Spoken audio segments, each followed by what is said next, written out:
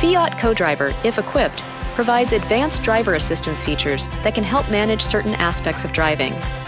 The Fiat Co-Driver utilizes a front-facing camera and a radar sensor behind the front bumper.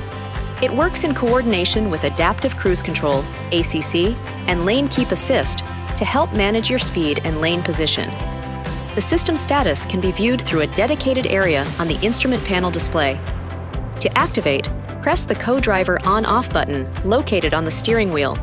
Then, activate ACC by pressing the designated button. You can adjust your speed using the Set Plus and Set Minus buttons, with one press adjusting speed by 1 mile per hour or 1 kilometer per hour, or by holding the button to adjust the speed in 5 miles per hour or 10 kilometers per hour increments. Additionally, you can adjust the desired distance to the vehicle ahead using the corresponding button. Once activated, the co-driver system controls acceleration, braking, and keeps the vehicle centered within the lane.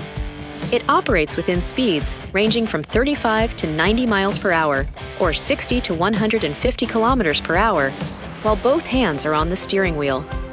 If equipped, the system can decelerate the vehicle to a standstill when the vehicle in front of it slows down and stops.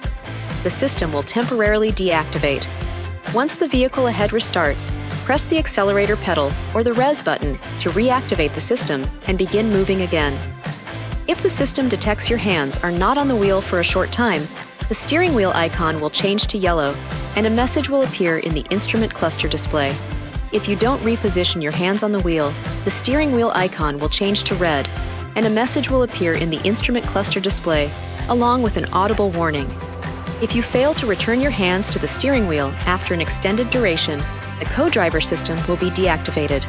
The associated graphics in the designated area will turn gray. You can deactivate the system at any time by pressing the co-driver on-off button again.